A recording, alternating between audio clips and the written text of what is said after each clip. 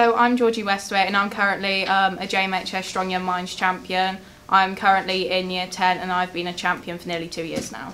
Um, what is Strong Young Minds? Strong Young Minds um, is, a, is a group of people in Herefordshire who are working to raise the awareness of mental health and help reduce the stigma around mental health and there are many groups across Herefordshire who are taking part in making a difference. Fantastic.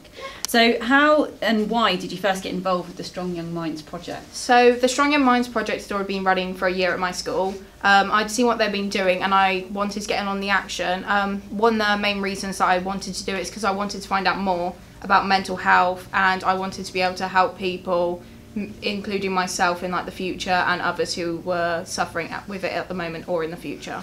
Um, and why do you think it's important to engage young people in your school and to hear what they've got to say? I think it's very important to engage young people in schools because they need to know that they aren't alone in situations and need to know what is going on, what might happen, um, and I think they need to know also what services um, there are out there to help them or to help others, and they can then refer others onto other people. Okay, and what have you done in your school to raise uh, awareness of mental health? So, um, in my school, um, for um, Children's Mental Health Week in 2018, I helped coordinate um, the activities we did. So, we uh, managed to do house assemblies where we spoke to all the students in um, the high school, which um, we got a lot of positive feedback from also, we did an information stand one lunchtime so people could come along, see what we are about, and it was mainly come ha- along, have a laugh, see what we are about.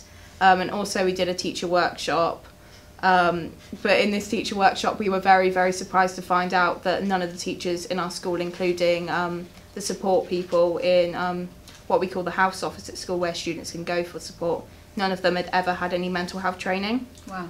Which was very, very surprising. So we were very pleased to give them their first like little taste at it. Um, and from this work, um, I was able to represent um, the, all the Strong Young Minds champions in Herefordshire at the Hereford Community Champion Awards. And at these awards, um, the Strong Young Mind champions in Hereford won um, in the youth category. And from this, um, we received some donation to help us carry on with our work. Fantastic. You must have been really proud. Yeah. Brilliant.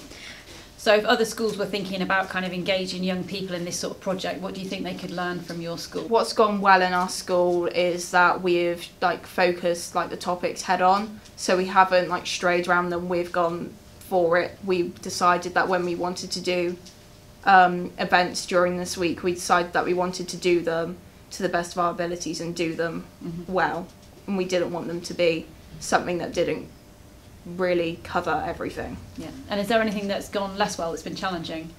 Um, I think there was always the challenge of sitting in an assembly um, where we have all the people sat in the assemblies. You're always going to have the people that don't listen, make faces at you.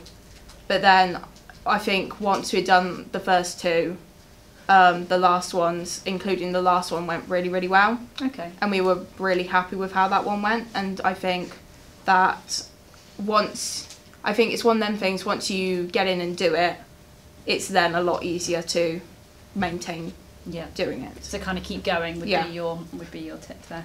Are there any initiatives that you think have been particularly successful? Well, the assemblies, I think that they've helped lots of certain students.